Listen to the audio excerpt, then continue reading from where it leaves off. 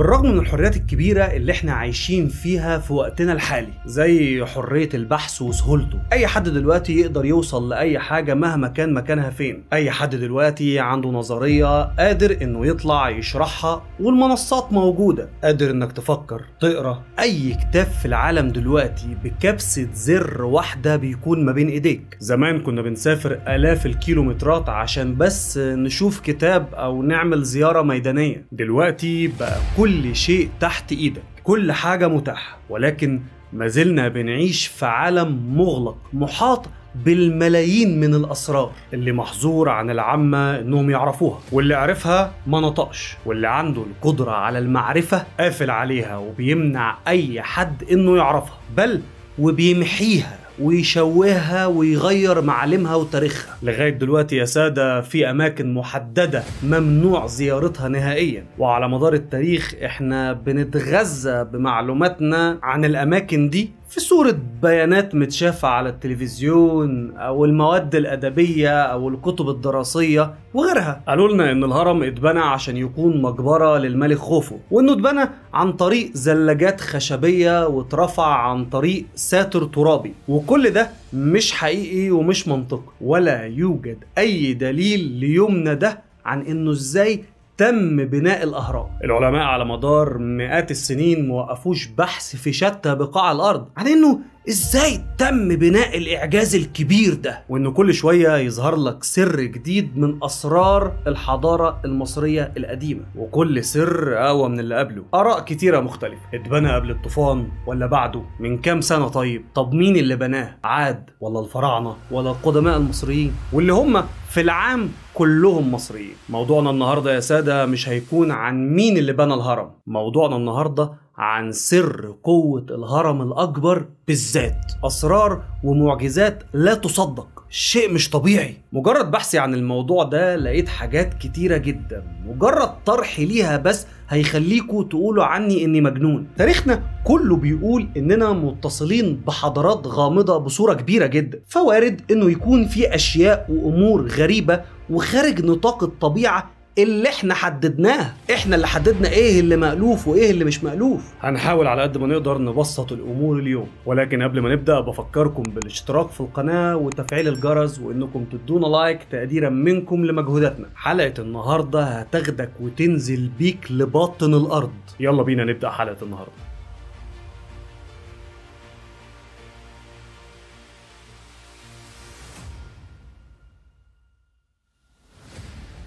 قبل ما نبدأ حلقة النهارده حابب أنوه عن حاجة معينة. في حلقتنا من أسبوعين واللي كانت تحت اسم بصيغة سؤال الفراعنة لصوص الحضارة وعلامة تعجب وعلامة استفهام. وعنوان الحلقة نفسه كان سؤال هل فعلا الفراعنة لصوص الحضارة كما يدعي بعض الكتاب والباحثين؟ فحلقتنا كانت عبارة عن حلقة بحث عشان كله يشغل دماغه ويفكر. في الحلقة طرحنا فيها وجهة نظر بحث اتكلم عن إنه قوم عاد هم اللي بنوا الأهرامات. دون تبنينا أي وجهة نظر من وجهات نظر الباحثين.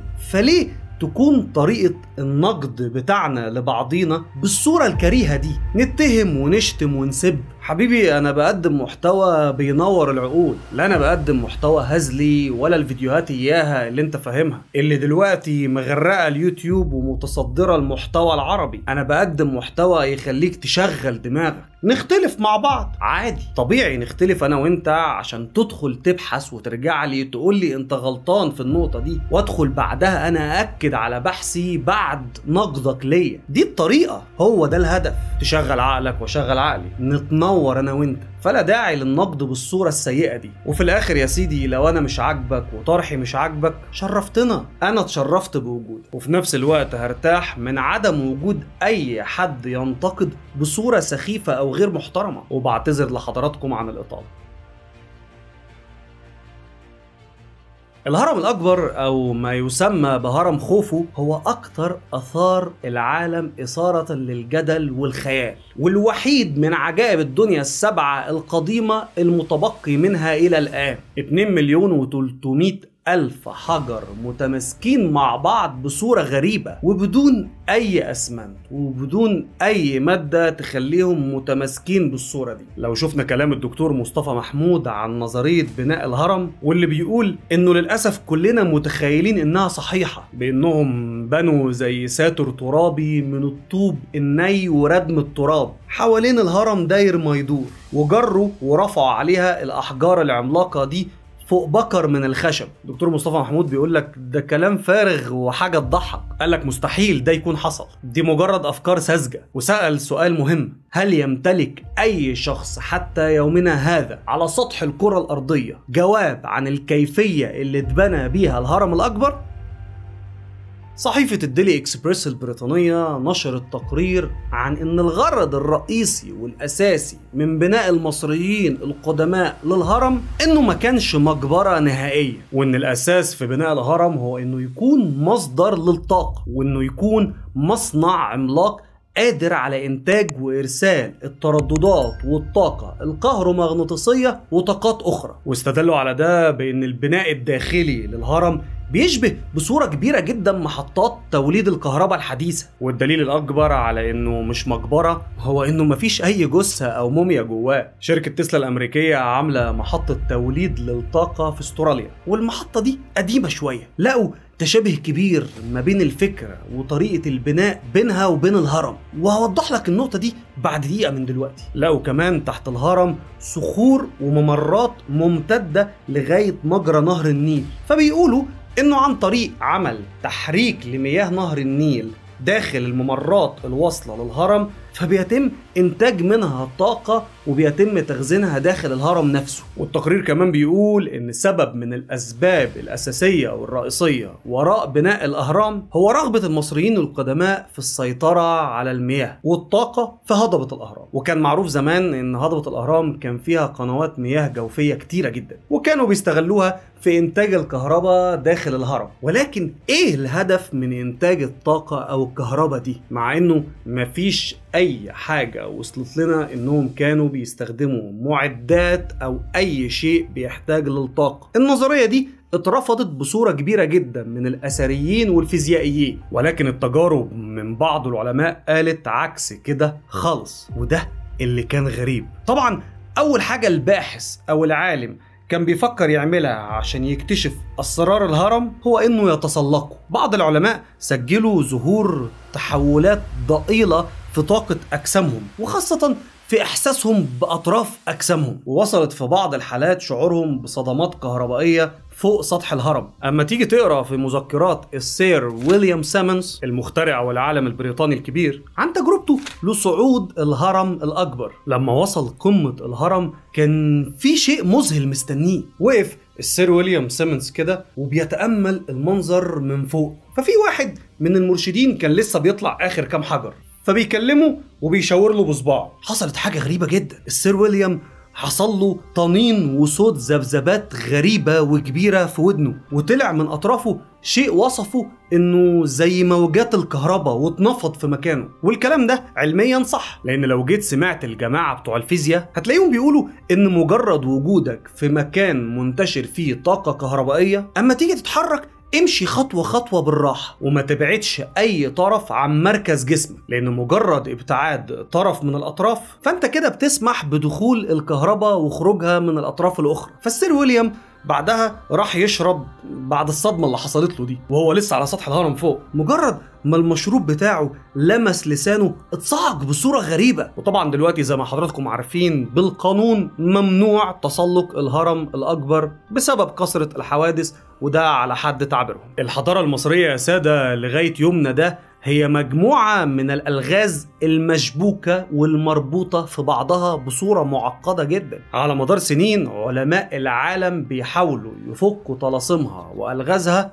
ولكن دون أي جدوى. ومعظم اللي اتقال عن الحضارة المصرية القديمة ما هو إلا تخمينات وتوقعات فقط. لا ترتقي حتى لمستوى فهم الحضارة الجبارة دي أغرب حضارة في تاريخ البشرية. وكل اللي حضرتك شايفه من تقدم تكنولوجي وحضاري وثقافي في الوقت الحالي في بعض الدول ما يجيش ذرة في تراب الحضارة المصرية القديمة. يلا. هات لي أعظم شركات العالم مجتمعين. هات نوكيا و Caterpillar وأبل وجيف بيزوس بثروته وإيلون ماسك بشركاته والصين وشعبها وشركاتها وأمريكا وفلوسها. واطلب منهم يبنوا هرم زي ده. مش هيقدروا. وأكيد طبعا مش مخفي عليك إن إحنا كمان ما نقدرش نعمل ده دلوقتي. مفيش حد في العالم يقدر يبني جزء واحد من الحضارة المصرية القديمة. طيب كلمنا كلمتين حلوين. تعالوا بقى ندخل في الجد. طبعا في نقطة حابين نوضحها ونصححها من حلقة لصوص الحضارة. وهي إن حجر الجرانيت الموجود في سقف الحجرة الرئيسية في الهرم الأكبر وزنه 70 طن مش 15 أو 16 طن. وإن في نوع من أنواع الحجارة تم استخراجه من البر الشرقي لنهر النيل وليس البر الغربي. فوجب التصحيح. نتكلم بقى شوية في أهم الأرقام. ارتفاع الهرم 149 متر point 4 والمسافة ما بين الأرض والشمس 149 مليون كيلومتر point 4 هل دي صدفة؟ طيب بلاش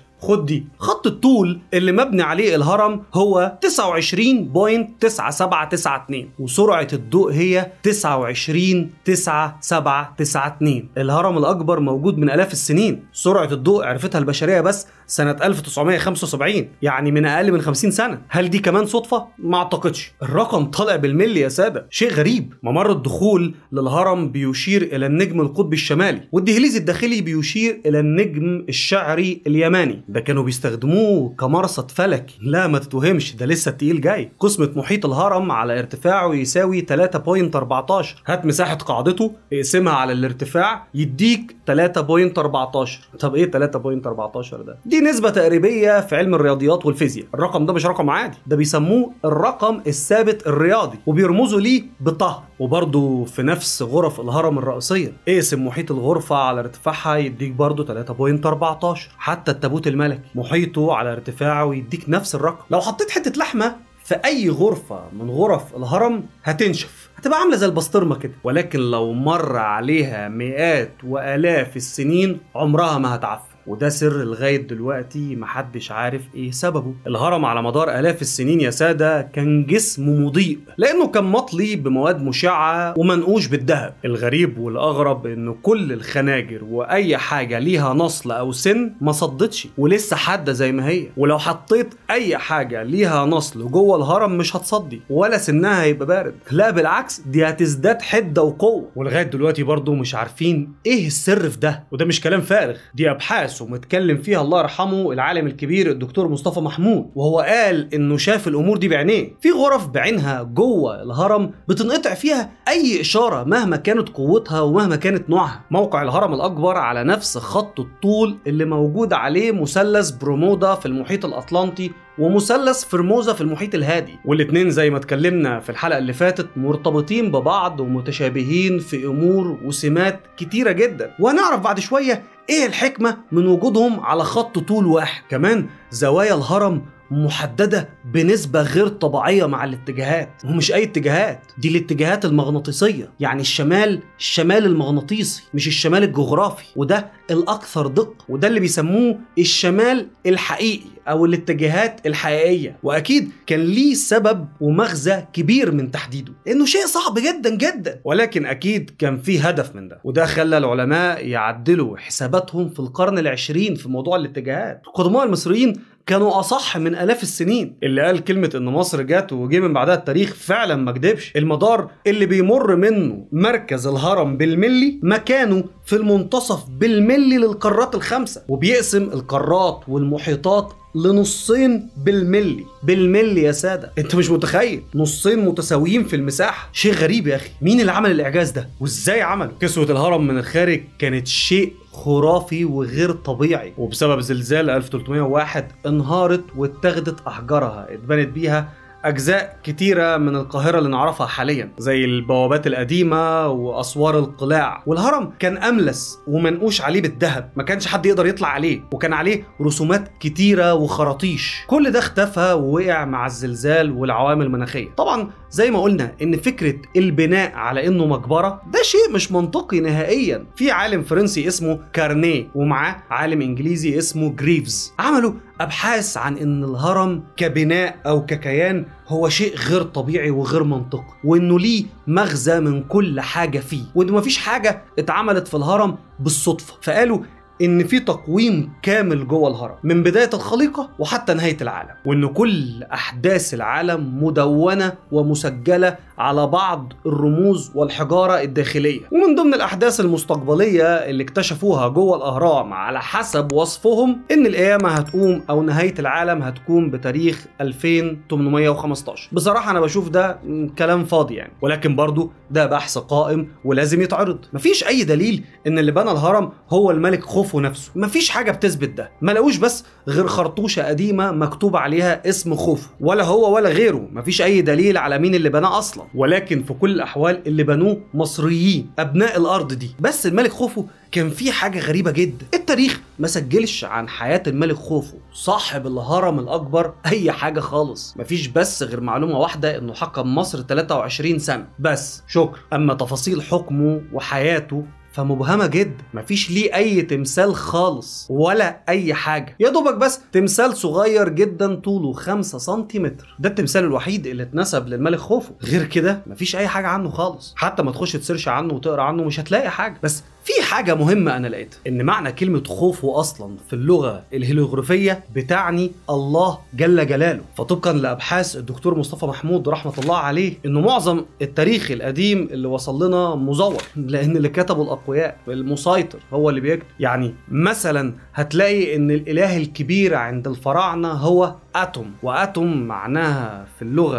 الهيروغليفية القديمة بتعني أول إله نزل على الأرض. أتوم دي مش آدم مثلا؟ سيدنا آدم أبو البشر؟ طيب الإله أوزوريس عند الفراعنة. ما يجيش معاك إدريس مثلا؟ سيدنا إدريس. في برديات في التاريخ الفرعوني بتتكلم عن إن أوزوريس هو اللي علم الناس الكتابة بالقلم ولبس المخيط والتخطيط والتقويم. وده فعلا اللي كان معروف عن نبي الله إدريس إن هو اللي علم البشر. وكمان كان معروف إن نبي الله إدريس كان في مصر. الإله نو عند المصريين القدماء. إله المياه والفيضان ومنقذ البشرية. طبعا واضحة. نو نوح والطوفان ومنقذ البشرية. كل ما نبي كان بيموت كان بيتحول لأسطورة وتتحرف سيرته وبعد كده يعبدوه. ودي اللي كانوا ساعتها بيسموها تأليه الأنبياء.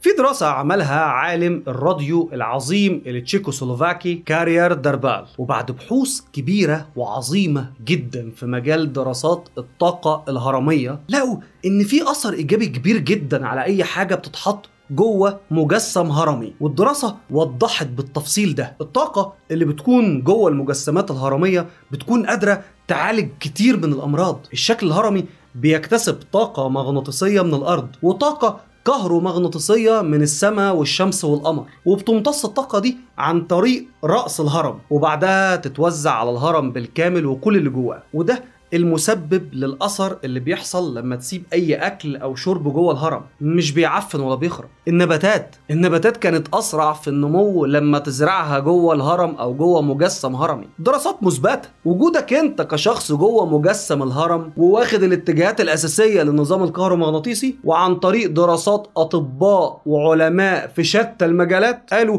إنه قادر إنه يسرع التئام الجروح ويخلصك من نوبات زي الصرع والصداع. وتجديد شباب الجسم والخلايا وكمان مضادات الأكسدة. وكالة ناسا الأمريكية حطت أجهزة إلكترونية بداخل مجسمات هرمية. الأجهزة دي دورها تلتقط قوة الطاقات والإشارات. ولقيت إن في مجال كهرومغناطيسي بصورة كبيرة جدا. وصلت قوته ل 13 ألف وحدة طاقة اللي بيسموها الجاوس. في حين إن المجال المغناطيسي بتاع الأرض العادية بدون ما يكون في أي مجسم هرمي هي واحد جاوس. أنت متخيل؟ وده السبب في القوة الرهيبة اللي داخل الهرم. معظم الدول المتقدمة دلوقتي بقت تتعمد تعمل بناياتها بشكل هرمي أو في آخر البناية يعملوا شكل هرمي. ركزوا شوية هتلاقوا ده حواليكم في كل مكان. وده طبعا للناس الموجودة في دول متقدمة. كمان التجربة دي أثبتت إن الشكل الهرمي بيعيد تلميع المجوهرات والعملات المعدنية المؤكسدة وبيخلي الأنصال ما تبردش وبالعكس تكون حادة أكتر. دربال بيقول إن أي حد يقدر يصنع هرمه الخاص أهم شيء إنه يكون من مادة ممتصة للطاقة زي البلاستيك والخشب وما يكونش من أي معدن عشان ده بيعكس الطاقات وإنه أي حد قادر يستفيد من القوة الرهيبة على جسم الإنسان وغير جسم الإنسان داخل المجسمات الهرمية.